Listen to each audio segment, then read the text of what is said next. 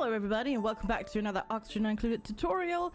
Today we're going to talk about closed loop bathroom toilet, shower, and carbon scrubber systems, really. Also closed loop bathrooms. You just, you just call it closed loop bathrooms. It's easiest that way. And uh, this is more of a beginner tutorial, but people have requested it and hopefully um, it helps some of you on your, Ox uh, your asteroid adventures and you stop wasting tons and tons of water. So, what is the problem with bathrooms? Inherently, not too much. But the problem is, bathrooms produce a lot of polluted water. Like, a lot of polluted water.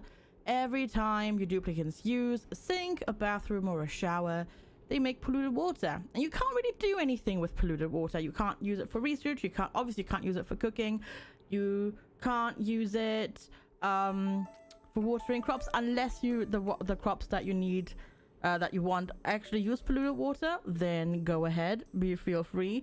But um, yeah, it, especially at the beginning of the game, they make a lot of polluted water that you can't really do anything with. That then makes polluted oxygen, which is technically fine. But then if you've got slime lung creeping into your base, it's just not worth it. It's just not worth it because um, yeah, you, you don't actually need to actively supply bathrooms with water. So how does this work? How does it work? So, as you can see, I've done a little setup here. Three toilets, three sinks. Um, dupes go in, they go and wash their hands on the way out. Uh, we primed this with water from our supply down here. So it just goes up in here. This was connected. We primed the sinks and the bathrooms and then we just disconnected it. And um, yeah, so what happens when duplicants actually use the bathroom? Well, this happens. They they happily walk along, go in here, um, and they use the toilet. They look really, really sad, but then really happy. And yeah, we just get polluted water coming out of the, the toilets and the sinks. So this polluted water will go into the water sieve. So um, it's just, just, just what it does. And the water sieve turns it back into water. So one thing to know about the water sieve if you've never played around with it. The water sieve only changes the type of liquid. The water sieve does not affect the germ count of germs in the water. So don't think of polluted water as germy water. Just think of it as a different type of liquid. Because you can very well have polluted water that has no germs in it. But at the same time, you can have water that has germs in it. So this polluted water that's coming out of these um, toilets and sinks, it has food poison on it because it comes out of their, you know, it's pee, basically. It's pee and dirty hand water. Like, you know, they wash their hands after using the toilet. So, yeah, this, this has uh, germs on it. So this, the water sieve only changes it from polluted water into water.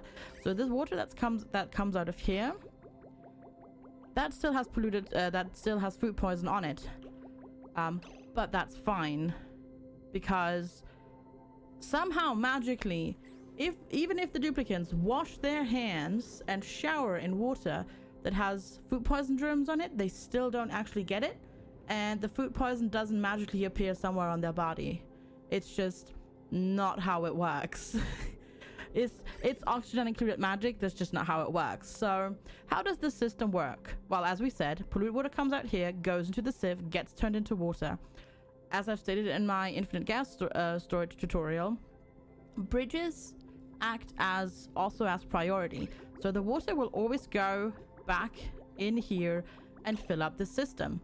So um, you ask, why do I have this with the containers? Well, so toilets always produce more water than you put into them out of the pipe because it's the flush plus the duplicant's pee. So you always get a little bit more water out of it than you put into it. So that's why we have the overflow storage that goes this way. Um, you could technically store the, you know, the polluted water if you wanted to, but we're just we're just turning it straight into water and we're just storing the excess water. So that's basically already the closed loop system. That's that's already a closed loop system.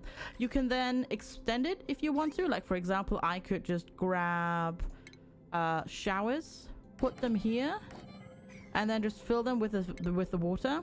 So I would do what I would do is not quite as ugly as this, but basically this. I would just fill them and then take the ugly, uh, the water out and put that back into this. And then this would now go up that way and fill these two. So it would just back up.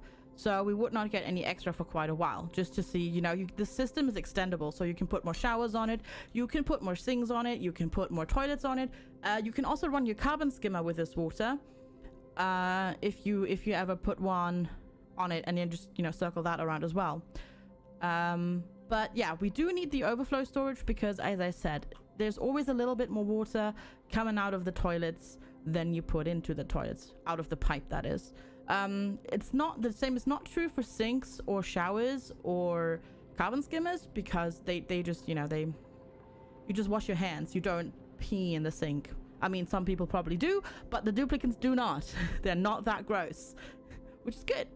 So this is our overflow storage. Um, you can decide what you want to do with them. You can just put it into a tank and wait because food poison will slowly die in normal water. What I did, because I got really lucky, I had a pocket of chlorine gas right here. So I'm just chucking the water into a into one of the liquid reservoirs that you can get in the in the game. And uh, so the water goes in here. As you can see, it says water, and it says there's a little bit of food poisoning in it because we just put food poison stuff in it. But, fun fact, because it is surrounded by chlorine, if you click on the water and then the germs tab, as you can see, the change rate is minus 254 per second because it's surrounded by chlorine. So we're basically just killing the germs off immediately.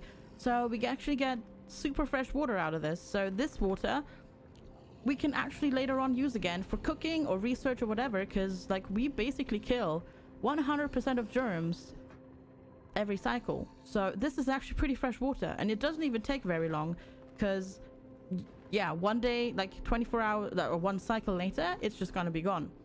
So that is a, this is a really super easy system to not waste, waste water and you actually get a little bit of water back. Um, that you can use because especially in the beginning you will you will either do mush bars or meal loaf they all use water so basically the P is, you know, the, the P is Klei's way of giving you the water that you used to make the food. That's their way of giving it back to you. So that's why there's a little bit extra. And this way you get this water and you can then use, as soon as the food poison is dead in it, you can just use this water again for cooking or for doing research or whatever you want to use the water for. So that is basically a closed loop bathroom system. Uh, that is basically extern internally extendable. The only thing you need is sand and power, obviously, for this. The only thing that needs to get powered in this entire thing is the is the water sieve. Oh, now look at them. Now they're having a shower.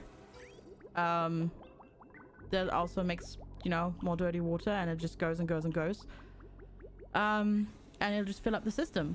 Uh, so that's cool. Uh, nice little tidbit. If you've watched till the end of the video, I highly recommend putting a freaking um, nature reserve right in front of your bathroom. It's a great morale bonus. It is super easy to do because what you do is you pick a spot for your bathroom where you've got lots and lots of plants and before. You just make it a room, put a park sign into it once you've researched it, and then plonk it into your bathroom before your bathroom because your duplicants will visit the bathroom once per cycle, and thus they will run through the through the nature reserve and get the mood bonus, which is really nice. You can do the same with a bedroom, by the way. Thank you so much for watching till the end. I will see you next time. Have a good one. Take care. Bye-bye.